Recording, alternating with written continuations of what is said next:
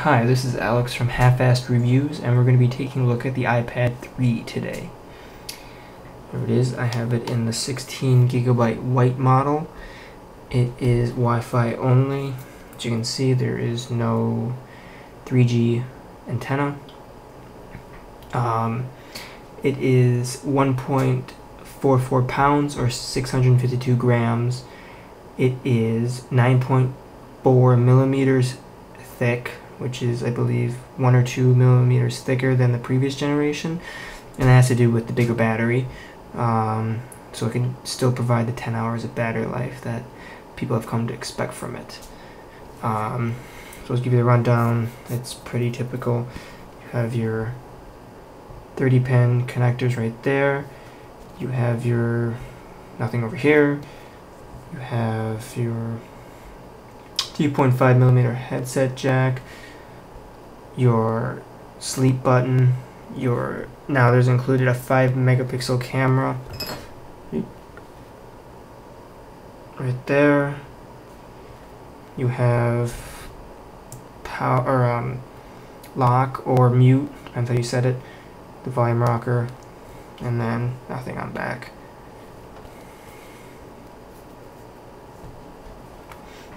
Alright, let's get into it. Um, so it this generation has a Retina display, um, and it's going to be a 2048 by 1536, which gives it a resolution of 264 pixels per inch or PPI, um, and that makes it the, the Retina class um, based on how far you hold it away from your your, your face typically. Um, still 9.7 inches. It has a fingerprint resistant coating like all the other ones. Um, they've upgraded the chip to an A5X. It is still a dual core for the CPU, but for the graphics, now it's a quad core, which is the same as the PSP Vita. Um, I don't know if the, the clock speeds are the same or if they're higher. Um, um, they might need to be to put the to move all those pixels around that this this display has. Um, it has Wi-Fi A, B, G, and N, and it has Bluetooth 4.0 technology, the latest Bluetooth. Okay, so let's dive into the actual iPad. As you can see, this is this is the Retina screen. Um, unfortunately, I don't have an iPad 2 with me at the moment to compare it to, but if you have one, um, and I don't know if you can see in this video, but um, if you've ever been to Best Buy or Apple, you can see there's a difference. Say, I guess you could compare it to the iPhone 4 to, the 3GS. Really, that's kind of the difference. Um, it's almost identical uh, performance-wise, just on basic tasks. Um, you know, very little lag. Um, battery life has been about the same uh, to the iPad 2 from what I've noticed, maybe a little longer. Depends what you have your brightness setting to and such. Um, they doubled the battery. It's a 42.5 watt hour lithium battery. It can provide up to 10 hours of, of almost you know anything, web, uh, video, music. Um, so some of the other new features they've added is um, voice dictation, which is right here. So if I press and hold this, take me to Google. And it didn't take me to Google, but it, um, I don't know if you can see, it picked it up quite well. And you could just search the web, and voila. Mean, you could use it anywhere that isn't a password essentially or a, a username. It'll allow you to speak your entries. Um, in this the coming fall, their, their um, iOS 6 is going to support Siri, so the, the, the, current generation iPad will have Siri on it. Um, so that'll be that'll be uh, pretty fun. Um, I mean, I don't know how practical it is just yet. I mean, they're still upgrading it adding new features, tweaking it, so we will see. Um, let's take a quick look at the camera. it is a 5 megapixel camera, the one that they, that they use in the iPhone 4S. It's just the 5 megapixel, not the 8 megapixel. Um, so image quality is very good. I think comparable to my Skyrocket Galaxy 2. Um, the, the autofocus works very well. You can just tap the autofocus or it will autofocus for you. It has face detection. Um, the front facing camera is still VGA. It shoots in 1080p video. Um, and it, it, looks very nice. Um, I mean, I don't know how practical is the shooting on an iPad. I guess if you have a, um, I don't know, a, tri a tripod for it, like a mount for it, you could use it if you don't have an iPhone or a camera or whatnot. But for me, it's only good for really uh, video chatting, I think. Um, uh, here, let's take a look at some games, to give you an idea of what the games look like now. Um, let's see, where are you? Take Infin like Infinity Blade 2, and you can probably see how fast it loads.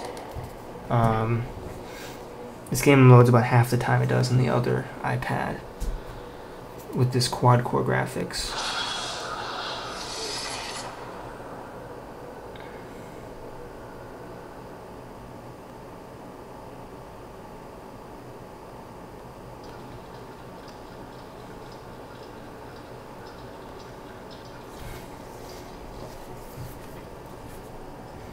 Okay, so look around, everything's very smooth. You need a health potion.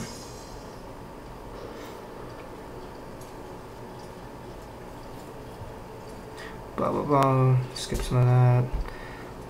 Let's go to the fighting. It's the best part of this game, right? Money, money, more money. Alright, here's a baddie. Knight of Gold. Reward, big prize wheel, 13 hours. Uh, I'll deal with that later. Okay. Exo pilot, level 153. Let's take this jerk on. And I don't know how well this will work in the camera. We'll see. It's been a while since I played this game.